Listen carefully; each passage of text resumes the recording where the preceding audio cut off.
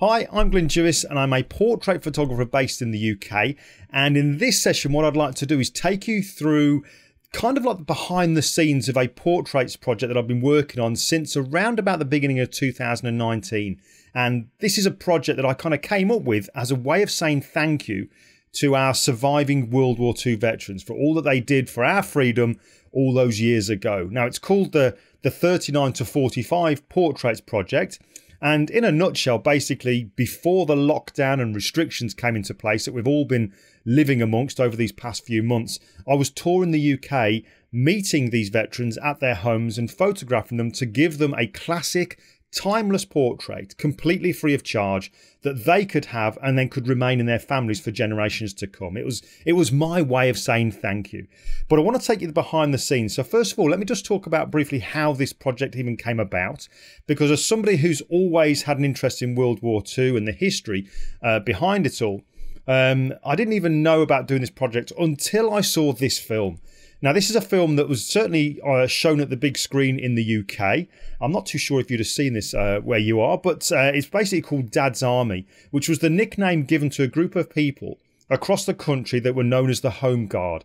And these were people that were too old, too young, or not well enough or fit enough to go and fight on the front line. So they would remain at home to protect the towns, the villages, and the cities, uh, just in case of any possible invasion. So I went to see this film and I remember coming out of it and a few days later speaking to a very good friend of mine saying, I would love to photograph people like that. Real characters, you know, proper characters, rather than me always looking for a model or a friend of a friend, uh, organising studio time, thinking of a uh, kind of like um, a scenario and the settings and clothing and posing, which I was terrible at. I just wanted to photograph real people and real characters. And my friend Barry said to me, You do realise there is a local group here? Because at the moment I live in Oxford, just in, in the UK. And he said there is a local group called the Oxfordshire Home Guard Living History Group. Now, I'd never heard of this group, but I kind of went online. I found them, of all places, on Facebook. And I got in touch and said, Look, I'm a photographer. This is who I am. This is where you'll find my books and videos and so on and so forth um, to kind of show that I wasn't some kind of weirdo who just turned up from nowhere. And I said, I'd love to come and meet you and possibly photograph you. And they are really, really gracious. And they said, by all means, come along.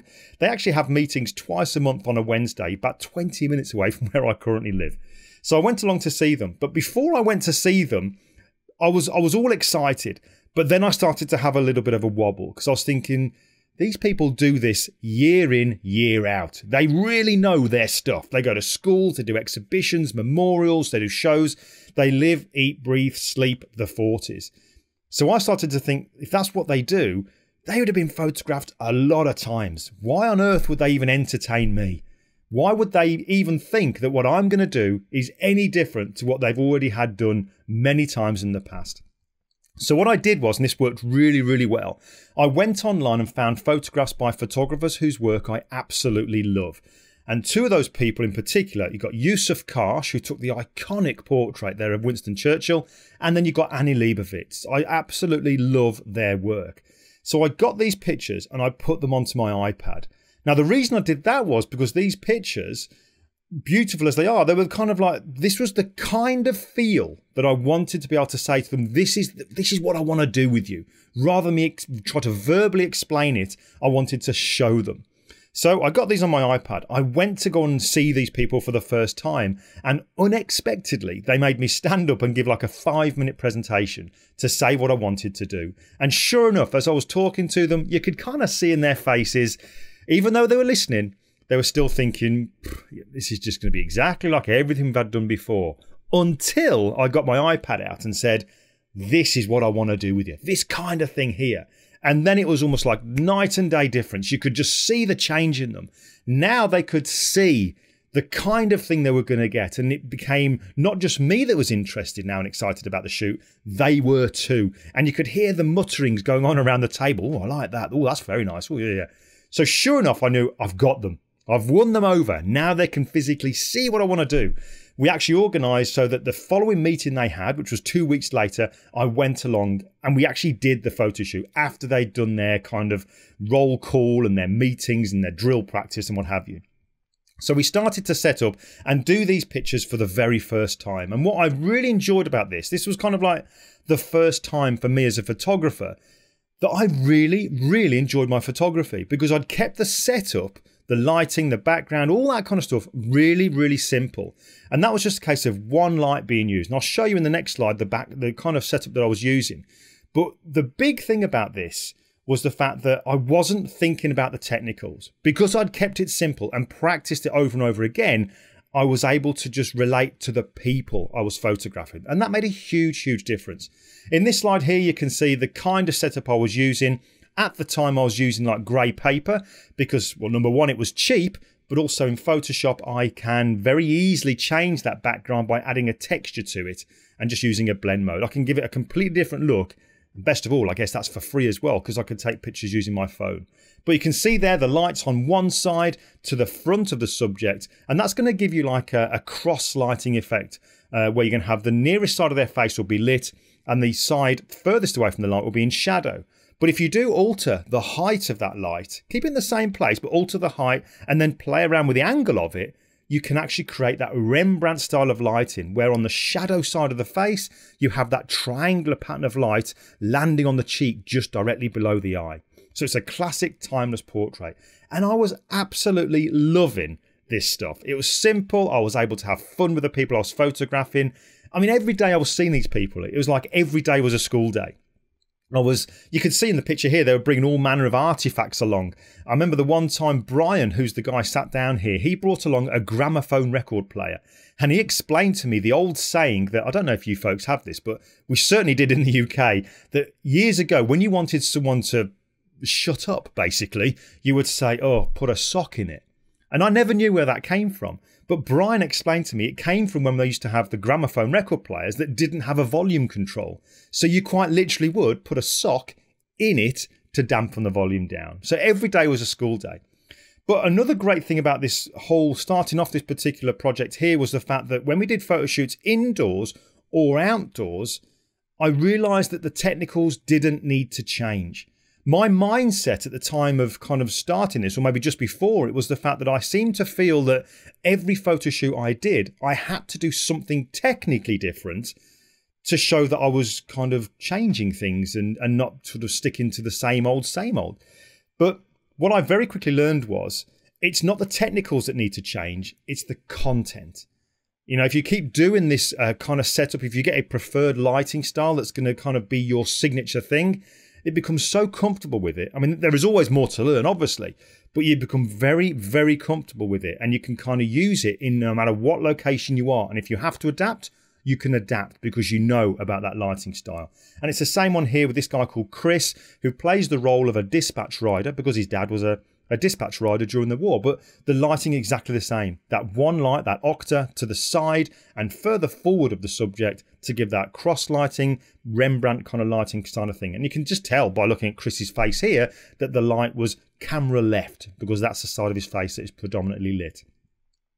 But I started to do more and more of this kind of stuff. And I remember we organised all kinds of photo shoots. One in particular is this one you can see here. Uh, I thought it'd be a great idea to do a picture of a young boy that had been billeted during wartime, which is where the children were taken away from the cities and towns that were suffering all the bombing and they were sent away to go and live with families that they didn't know but to live in relative safety in the countryside. Okay, so I thought that'd be a good idea to do.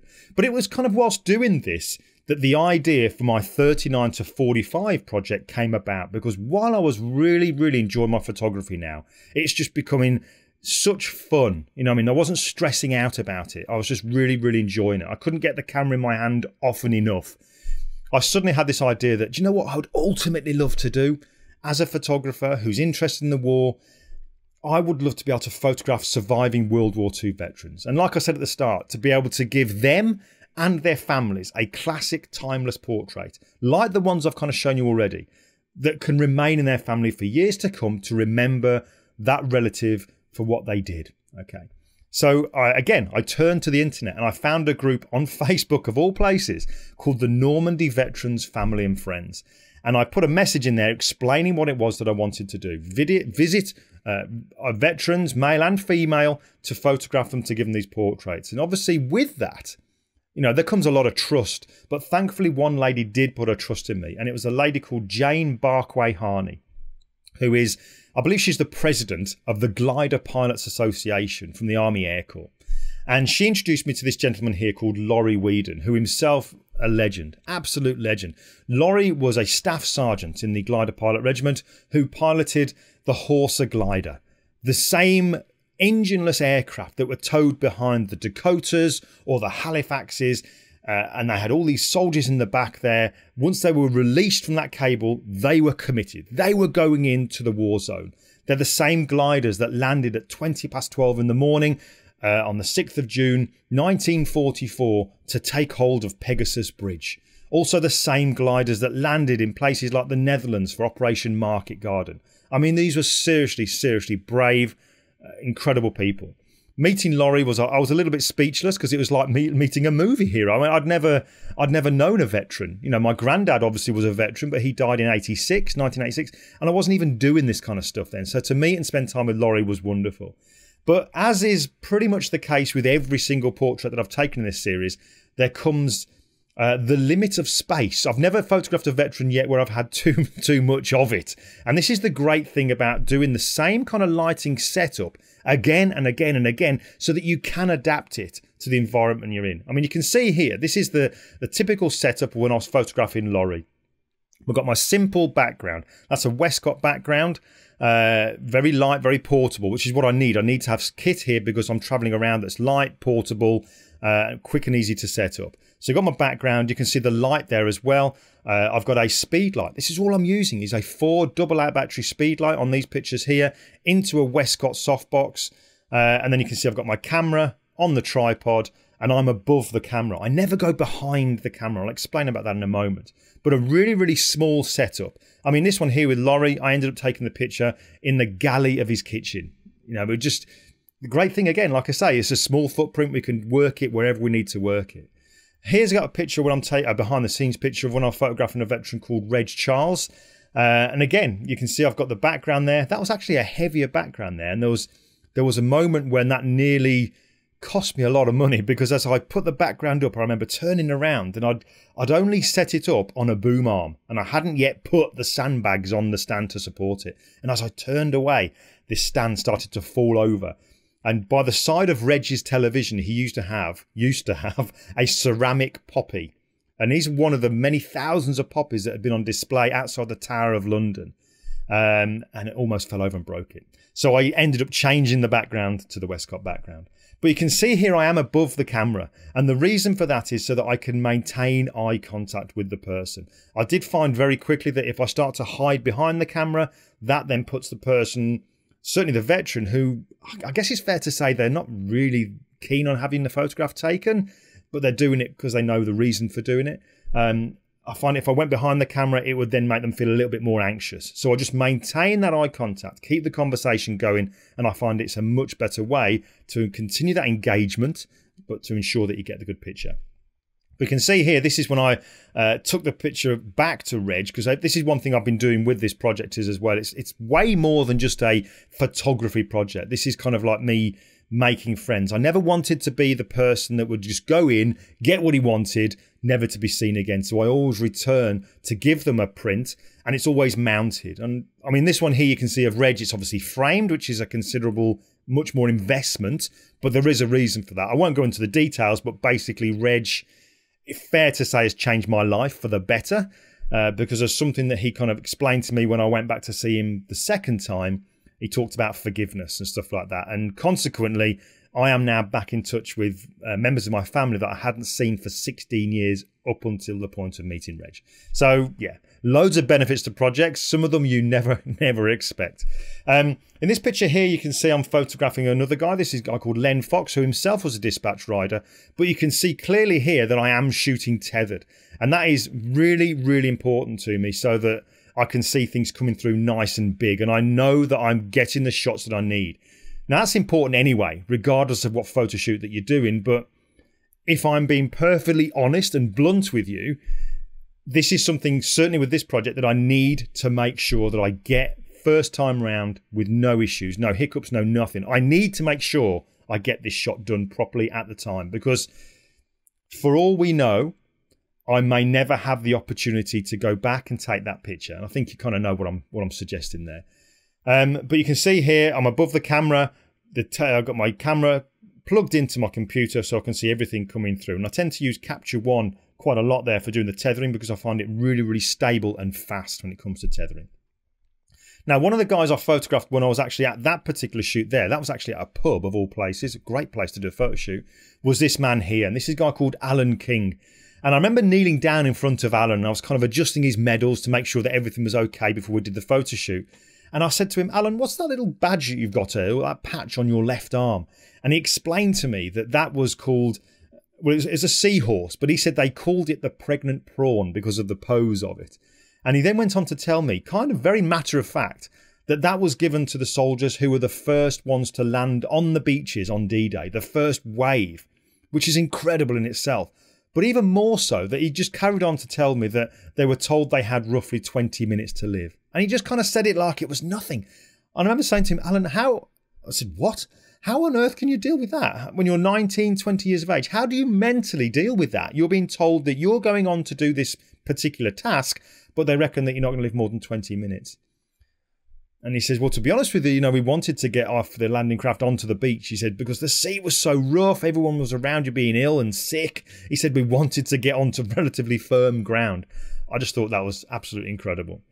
Uh, this guy here has been a very, very good friend of mine. This is a guy called Jim uh, Hooper, who himself was also a Horsa glider pilot in the Army Air Corps. Now, the reason I show you this picture here is to kind of talk about how we adapt to the people that we photograph. You have to treat everybody on a case by case basis. And Jim is certainly no exception to this because in his early 90s, I mean, I think I believe Jim is now 98, 97, 98. In his early 90s, he started to lose his eyesight. Not completely, but to the point that now he only really sees kind of shadow, shapes, and, and highlights. Um, consequently, he now lives at a place called the Blind Veterans Centre, which is in an area called Brighton on the coast in the UK. Great place that does uh, wonderful stuff for veterans. Um, but when I went to go and photograph Jim, bearing in mind now about his sight and the issues that he has, one of the things I made sure to do was position it so that when I'm taking Jim's photographs, I was in the window photographing into the room. So all the white, you know, the bright light behind me was all around from the outside. So to Jim, when he's looking back at me, I'm a silhouette. And that was really important because, like I say, he can only see shadows and highlights. So when I need Jim to kind of maybe turn his face in a certain direction, when I move my hand and say, Jim, you know, look at my hand, follow it around, he can see the shape moving because it's silhouetted against that window. So then he can kind of move around and follow it. So that's one of the things there that just an example, really, I guess, of how you kind of cater for people's needs rather than kind of treating everybody the same and going in there saying, right, by the end of this shoot, I will have a seated portrait, a close up portrait, and an interview. Sometimes you just can't do that, but you do need to adapt to people. And I guess this next person here is a, is a perfect example of that. This is a veteran called John Sleep, who was in the parachute regiment. And I've met John many, many times. John is 99 years of age and he is just an incredible, incredible man. But the thing about John is whenever you see him and when you go and speak to him, it almost seems like he's he's literally that close to crying every single time. And the reason for that is that John pretty much all of his life since the war has suffered with post traumatic stress disorder, PTSD. And this all comes from what he experienced during the war. And long story short is that John told me that when he was in uh, the Netherlands, he said he was walking along the grass bank uh, of a dike. And as he's walking along the grass bank, uh, he sees a building over on the left hand side. And next to it uh, is a tree, or what he thinks is a tree. And as he gets closer and closer to it, he realizes that it's not a tree, but a German tank with camouflage on it. And instinctively, John's just grabbed his Bren gun and fired a few shots at the tank. The tank then unfortunately came alive, and the turret has turned to face John, and it fired a shell. And that shell landed in the grass bank directly beneath John's feet and consequently blew him up. Uh, horrific, horrific injuries. And he ended up going from one hospital to the next, to the next, to the next, until eventually he was brought back to UK shores. Now, the reason that he went from hospital to hospital to hospital wasn't necessarily because of the injuries that he suffered, but because of his behaviour whilst he was at the hospitals. He was shouting, swearing, verbally abusive, physically abusive, you name it, he was doing it. And they couldn't cope with it, so they moved him from one hospital to the other. The really sad thing is that John didn't know he was doing it. He was doing this during his sleep. But what's really, really sad is that John told me that in late life, you know, in his 90s, when his wife was still alive, he said they would regularly wake up in the morning together and his wife would turn to him and say, You were in the army again last night, John. So even in his late 90s, John suffered or suffers with post traumatic stress disorder, which I think is incredible. Now, the reason I tell you that is because knowing that, my feelings were that was that I couldn't just go in and photograph John in any old way like I normally would do. I had to adapt to it. I mean, for example, I've already told you that I would use a, a flash, a four AA battery flash, or the or the FJ 400 that I use now as well from Westcott because it does TTL and what have you. My thoughts were maybe I can't use a flash because I don't actually know how John is going to react if a flash goes off. So what I did was, and this is something that I always have with me, I, I, I brought in a daylight balanced video light, a constant light. So I, rather than using the flash, I used that, put it into the modifier and positioned it so that whilst John was sitting, I could see the lighting pattern was exactly how I wanted it to be, like it would be had I used, you know, the normal flash. So then when we do the photo shoot, there's not to be a flash going off. Now, I did also make some changes in the camera, and that was the fact that once I put it on the tripod, I then activated the silent shutter, which is something that's available in a lot of cameras these days. Really handy for wedding photographers so that they don't hear this loud clicking going on in the church during the ceremony. But brilliant for doing stuff like I was doing now with John.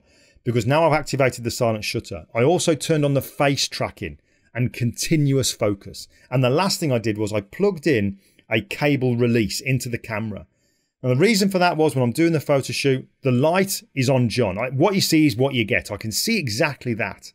There's going to be no click. So not only is he not going to see a flash, he's not going to hear a click. So he doesn't know when his picture's being taken.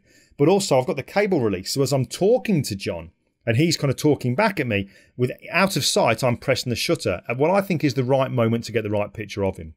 And I remember doing it. I got John to, uh, I said to John, tell me about the parachute regiment, John. What was it like to train to be a para? I didn't want to talk about all the horrible stuff. So John's then talking to me about the training and how hard it was and the things they did. But whilst he's doing that, out of sight from John, I'm doing this and I'm taking his picture. And that was brilliant. He didn't even know we were doing it.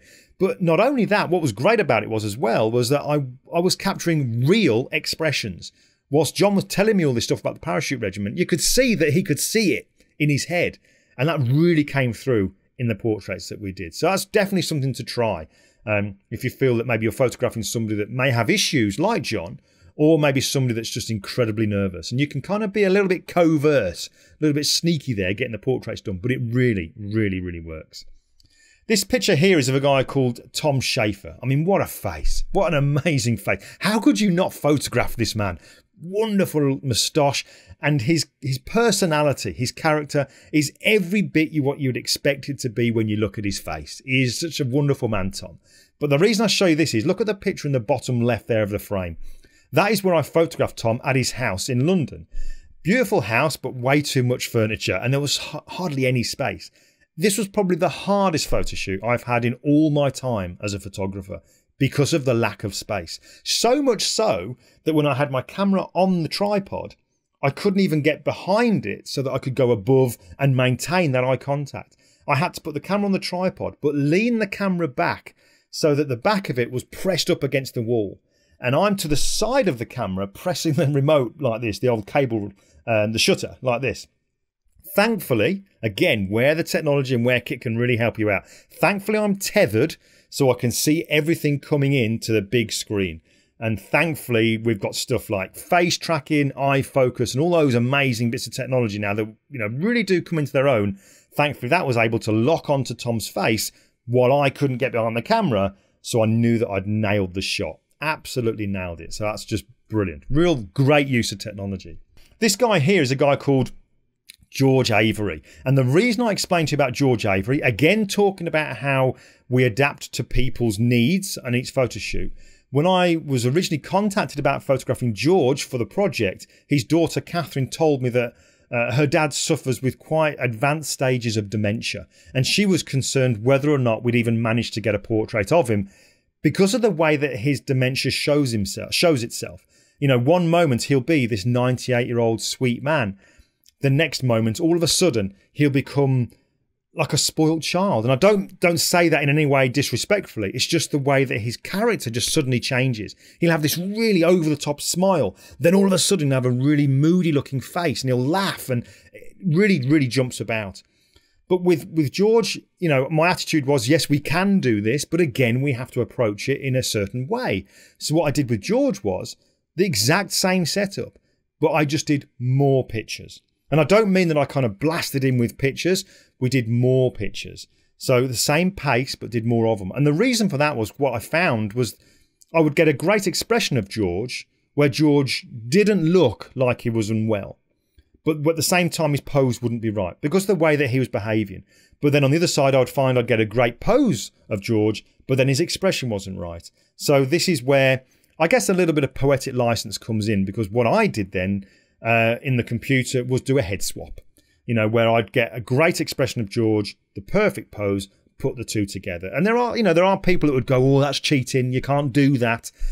But I'll be honest with you, I couldn't care less because the idea of this project is to give people portraits that they can proudly look at in years to come, rather than me giving them a picture of George as he was for them to look at and go, that's when dad wasn't well. That's the last thing I want. So if I have to do a head swap, then great. This is, you know, this is modern day. This is just doing what needs to be done as far as I'm concerned. Now, I think it, it's fair to say there are certain people, it's only human nature, that you connect more with than others. You know, that's no disrespect to anybody else, but you do just naturally connect with some people more than others. And this guy here, this is a veteran called David Edwards, who's from Wales. And I'm, I, I love this man. I love his wife, his son Chris. They've made me feel so incredibly welcome photographing David and becoming great friends with David has been an absolute pleasure. And you can see here when I've kind of this is a picture to show the behind the scenes when I'm photographing him. It was just such fun doing it. And again, you can see there, camera in the foreground, that tether tools cable has to be done because I need to make sure that I get this. But also you can see when I've gone back and given David his portrait. I mean, what a wonderful man. But I want to show you a short video now, really short video. But this is when I uh, went back to see David to give him his portrait. So this was the second time I'd met him, but I went back to give him his framed print. And this is the reaction I got from David and his wife Diane when they saw the picture. And for me, as a photographer, it just doesn't get better than this. This is the reaction that money cannot buy. But every time I see this, it reminds me of why I do what I do.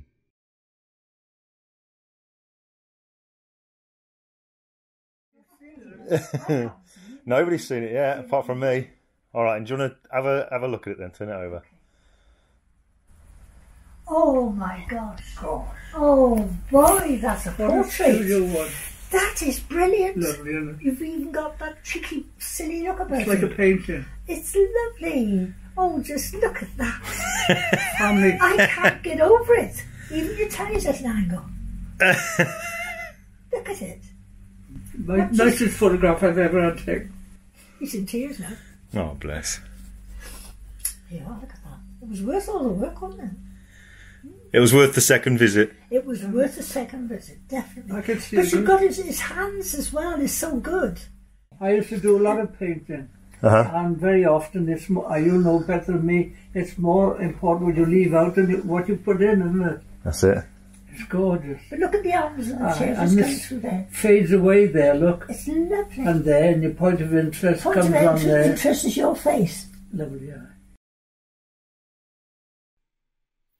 Now you wouldn't be wrong there when you're kind of hearing his words that David's saying there, talking about it's fading out here and your point of interest is there. You think he's using the same language that we use as photographers, and you'd be so so right. David is an incredibly creative man. All of his life, he's done incredible landscape paintings, which are on display in his house. But also, he wrote poems and so many poems. And In fact, what I'd, I'd really urge you to do is to go to the project website 3945portraits.com. If you go on the education link, you'll see a little post I've put together there of a poem that David did because I recorded him reading his poem put some music to it, and some archive wartime footage. It is incredibly powerful, called Normandy 44. I'd love you to go and check that out. But kind of, uh, if we talk about you know uh, projects, we talk about taking these portraits of these veterans, and then we talk about you know these restrictions that we've all been living under for the last you know few months, where we've not been able to go out and take pictures of people. You know, what on earth do I do as a portrait photographer? I mean, there's only so many times I can photograph this mannequin head that you can see resting on the shelf uh, in my my little office here. I can, only sometimes I can photograph my wife. But what I decided to do was another project to keep the tools in my hand, to keep me creative, and also, I guess, to sort of fight off a little bit of the cabin fever. Uh, I started to do these ones here, these these Airfix models. Now, I never did this, did these as a, as a kid, but I've thoroughly enjoyed doing this because it's helped me to be, you know keep the creativity going. Putting them together, I've, I've used way too much glue, but I think that's kind of normal when we're doing this kind of stuff. Painting them hasn't been the best, although I am getting better. But here you can see what I'm also been doing is photographing them. So putting them on a little uh, tabletop tripod, photographing them on behind my other monitor. I've got a little BenQ monitor here. This is, for those of you interested, this is actually a, a, the SW321C. It's a brilliant monitor that doesn't have any kind of shine to it. It's a matte finish to it. So it's great for photographing against. Um, but you can see here in the bottom right hand corner, there's my camera tethered into my laptops into Capture One so I can th- see things coming in nice and big. And this is really important to me because photographing these really small models, I need to make sure that every point that I photograph them at is absolutely sharp and in focus. And because of you can't just photograph them at a single aperture, you have to take multiple shots. So I'll photograph the nearest part, the middle part and the furthest part. And then in, in Photoshop, we can use a thing called focus stacking to put them all together. So we have one image which is sharp from front all the way through to the back. Uh, but you can see tethering there to, to do that. But I've thoroughly enjoyed doing this. It's, it's kind of pushed me as a photographer and a retoucher to kind of how would you know think how would i do this? How would i do that? How would i make propellers? How would i work with highlights and shadows and stuff like that? I mean this one here this is a lancaster bomber. It's only about six inches wide. Um, I made the background, I photographed the actual Lancaster on the tripod with the background behind it. And then to do the actual highlights, you can see here in the bottom right here, this is the behind the scenes. This is showing how I made the highlights on the Lancaster just by using the video light. And again, shooting tethered, I was able to check where everything needed to be. So it kind of, it might take that just, a, you know, a couple of more minutes setting up, but it saves you so much time later on.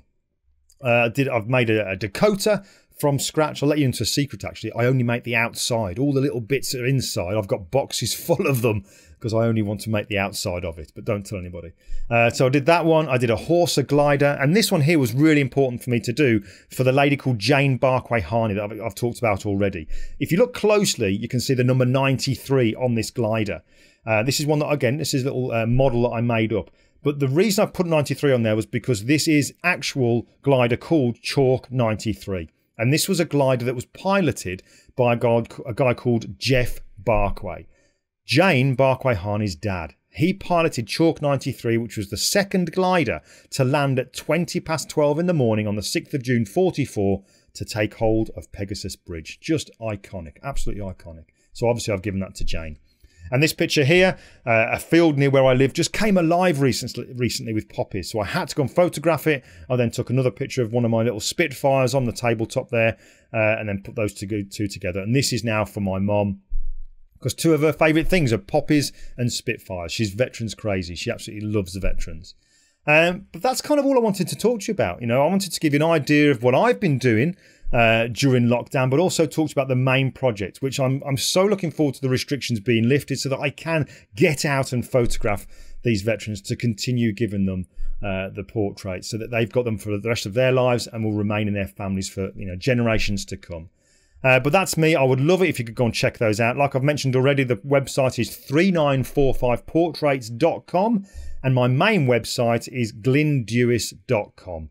Uh, guys, thank you so much, and I'll hopefully see you again soon.